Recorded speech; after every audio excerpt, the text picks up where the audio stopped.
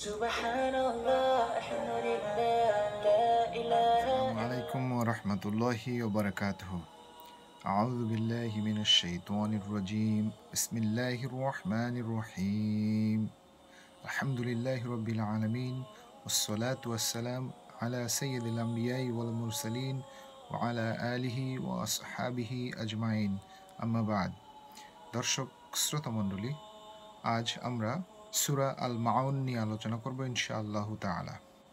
এই সুরাটি কোরআনুল কারিমের একশো সাত নম্বর সুরা এবং আয়াত সংখ্যা মাত্র সাতটি। সুরাটি আর্লি মক্কান পিরিয়ডে নাজিল করা হয়েছে। কেন সুরাটি নাজিল হয়েছিল?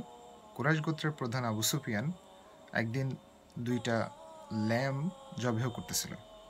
একজন ইয়াতিম এসে তার কাছে কিছু খাবার চাইলে সে তাকে ধাক্কা দিয়ে ফেলে দেয়।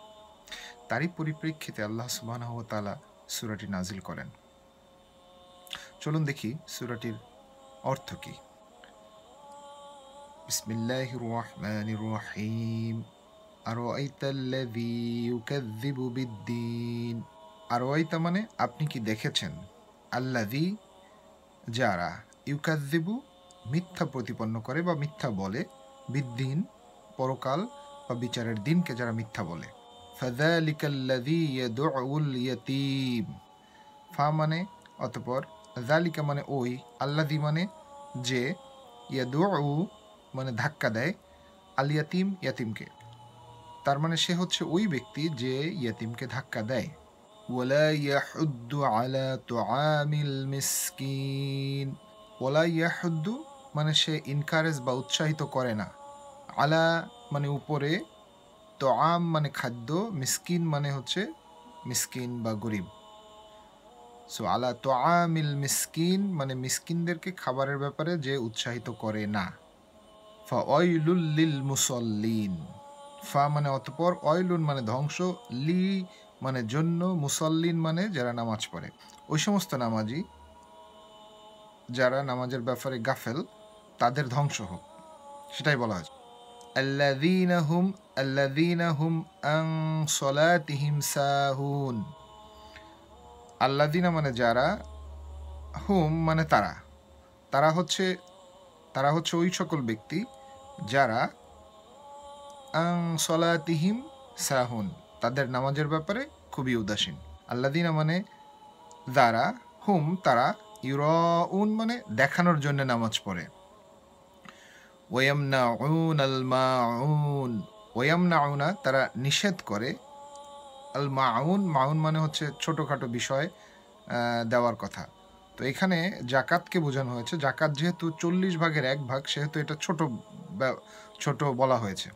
এর সাথে আরও কিছু সংশ্লিষ্ট করা হয়েছে আরও কিছু বিষয়, যেমন নিত্য প্রয়োজনীয় জিনিসপত্রকে মাউন বলা হয়। সো কেউ যদি আপনার কাছে কোনো নিত্য প্রয়োজনীয় জিনিস চাইতে আসে, তাকে না দেওয়াটা এখান না দেওয়া ওই ক্যাটাগরির লোকদের ভিতরে তাদের, তাদেরকে ফেলা হয়েছে। সো দর্শক মণ্ডলী, সুরাটি থেকে আমরা কি কি শিক্ষা নিতে পারি?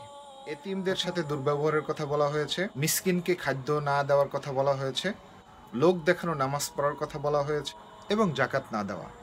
এগুলি মুনাফিকদের কাজ, এগুলি মুমিনদের কাজ হতেই পারে না।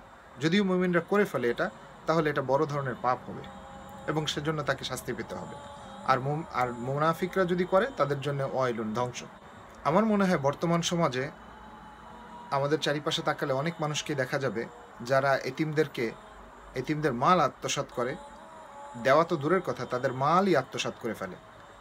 তো সুরাটি বর্তমান সমাজের জন্য খুবই প্রযোজ্য। আমাদের চারিদিকে তাকালে আমরা দেখতে পাবো অনেক মিসকিন যারা আপনার কাছে, আমার কাছে খাদ্য চায়, আমরা তাদেরকে খাদ্য না দিয়ে গেট আটকে দিই। এটা সম্পূর্ণ গর্জিত একটা কাজ। এটা করা উচিতই না। আল্লাহ তালা নিষেধ করেছেন এবং তাদের ধ্বংসের কথা বলেছেন। সো আমাদের কোনোভাবেই মিসকিনরা যদি খাবার চায়, তাদেরকে না দিয়ে গেট বন্ধ করে দেওয়া উচিত নয়।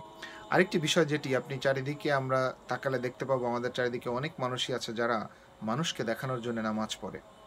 অনেক ছেলে, যুবক সম্প্রদায় আছে যারা বাবা মাকে খুশি করার জন্য দেখানোর জন্য নামাজ পড়ে হুইচ ইজ নট অ্যাকসেপ্টেবল সমাজের অনেক গণ্যমান্য ব্যক্তি আছে যারা শুক্রবারে নামাজ পড়তে যায় মানুষকে দেখানোর জন্য, ভোটারদের দেখানোর জন্য। অনেক গণ্যমান্য মানুষ আছেন যারা শুধুমাত্র ঈদের নামাজ পড়তে যায়, যাতে লোকজন তারা দেখে যে তারা নামাজ পড়তে আসছে। সমস্ত লোক দেখানোর নামাজ নট অ্যাকসেপ্টেবল কোনোভাবেই করা উচিত না। তাদের ধ্বংসের কথা আল্লাহ তালা বলেছেন। সুতরাং লোক দেখানো নামাজ আমাদের ছেড়ে দিতে হবে।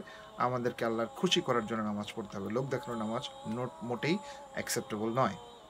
এবং কিছু মানুষ আছে যারা জাকাত তো দেয় না এবং জাকাত দেওয়াটাকে একটা বার্ডেন মনে করে হুইচ ইজ জাকাত হচ্ছে চল্লিশ ভাগের এক ভাগ দিতে হয় মাত্র, যেটা আমাদেরকে আল্লাহ তালা দিতে বলেছেন। এবং কিছু মানুষ সমাজে আছে যারা দেয় তো না এবং অন্যকে দেওয়ার জন্য উৎসাহিত করে না, বাধা পর্যন্ত দেয়। বাধা দেয়, তাদের ধ্বংসের কথা বলা হয়েছে। সুতরাং আমাদের এখান থেকে শিক্ষা নেওয়া উচিত যে, আমাদের জাকাত দেওয়া উচিত এবং যারা দিচ্ছে না, তাদেরকে দিতে উৎসাহিত করা উচিত। বাধা দেওয়া তো দূরের কথা, তাদেরকে উৎসাহিত করা উচিত। সো আসুন আমরা সবাই মিলে এই শিক্ষণীয় বিষয়গুলিকে আমাদের জীবনে কাজে লাগাই, সমাজের উন্নতি করি, নিজের উন্নতি করি, দেশের উন্নতি করি ইনশাল্লাহ আল্লাহ তালা আমাদের সবাইকে এই সুরাটি থেকে যে লেসন আমরা জেনেছি, তার বাস্তবায়ন আমাদের জীবনে করার তৌফিক আল্লাহ তালা আমাদেরকে দান করুক। আমা তৌফিক ইল্লা বিল্লাহ। আসসালামু আলাইকুম রহমতুল্লাহি ওবরাকাত